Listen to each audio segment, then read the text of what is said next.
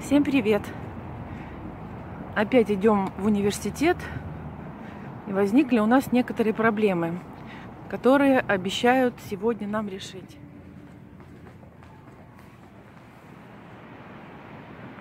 Тут даже бананы выросли.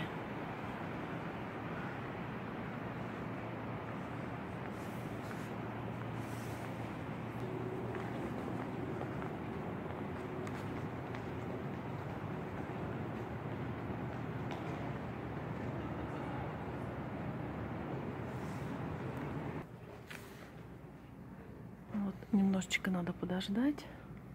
Вот так вот вот наше время. И нас сейчас позовут. Наш сын получил ФАСФу.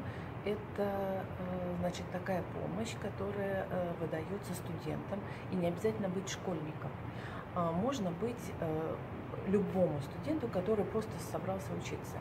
Но есть такая проблема, когда ты поступаешь в университет, если ты резидент штата, то ты платишь ну, примерно наполовину меньше чем э, если ты не резидент штата. Резидентами штата становятся через год проживания в штате, это на Аляске. Если другой штат, может быть два года по-разному. Изначально нам э, посчитали э, как не резидентом штата.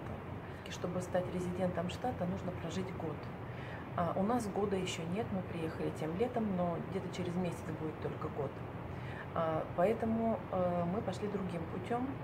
И э, есть еще вот такой документ, я сейчас вам покажу его. Значит, вот так выглядит этот документ. Вот так вот, два листа здесь.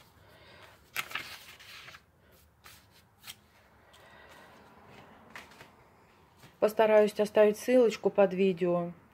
А, значит, в первом листе, ну, вы видите, здесь заполняются личные данные, проживание и все такое прочее. На втором листе мы поставили только один крестик. Это, значит, вот это место, которое указывает, что, ну, как бы не прошло и года, что мой сын учился в школе, закончил школу США или учился, обучался в школе США. А, значит, всего э, надо принести три документа. А, вот эту форму, значит, э, диплом, что школу США закончили, и транскрипт. Вот выглядит он вот так. Значит, э, транскрипт – это выписка успеваемости, ее могут переслать со школы, но в университете нам сказали, что лучше, если мы ее привезем сами. Выдается она в закрытом конверте, и а, открывать ее могут только сотрудники университета. А на руки выдается, значит, вот э, копия. Вставляете эти документы, и вам производят перерасчет. И студент будет считаться резидентом для университета. А ФАСФа рассчитывается индивидуально для каждого. У сына она составила около 7 тысяч э, на год, и университет подкинул где-то 3,5 тысячи. А другие э, гранты, на которые мы подавали, пока не сработали. Если что-то сработает, я вам обязательно покажу расскажу об этом. А, и оставлю э, подсказочку сверху видео на организацию, которая помогает бесплатно с оформлением ФАСФа и грантов. Ну вот на сегодня такая вот информация. Удачи всем, пока-пока.